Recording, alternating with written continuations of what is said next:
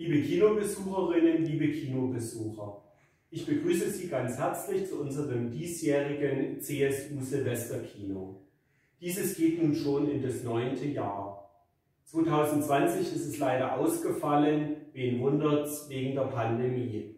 Wir lassen uns aber nicht unterkriegen und blicken voll Zuversicht in die Zukunft. Wir haben Weihnachten, die Zeit des Friedens.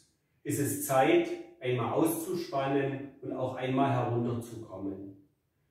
Gerade deshalb sind Sie ja auch heute hier in das Kino gekommen, weil Sie wollen sich einen spannenden Film ansehen. Das ist wieder mal ein Film aus der Eberhofer-Reihe und zwar diesmal das Kaiserschmarrn-Drama. Sie werden sehen, was auf dem Dorf so alles für Dienstleistungen angeboten werden und wie sich hieraus interessante Mordfälle entwickeln können. Auf jeden Fall wünsche ich Ihnen und Ihren Familien alles Gute für das neue Jahr 2022. Und wenn Sie mich fragen, wie dieses Jahr wird, so kann ich Ihnen gerne mit Erich Kästner antworten.